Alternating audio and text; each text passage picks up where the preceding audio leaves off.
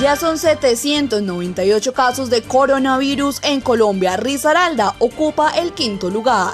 ELN anuncia cese de fuego durante la pandemia. Más de mil comparendos han aplicado en Pereira por no cumplir con el toque de queda. Alcaldía de Pereira pagará dos meses de servicios públicos a los estratos 1, 2 y 3.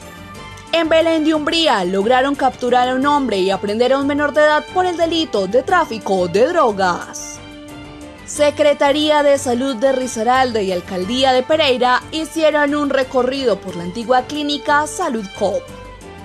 Agencia Nacional de Seguridad Vial entrega algunas recomendaciones para los motociclistas. Transfilla, un servicio que ofrece ACH Colombia donde se puede solicitar, enviar y recibir dinero.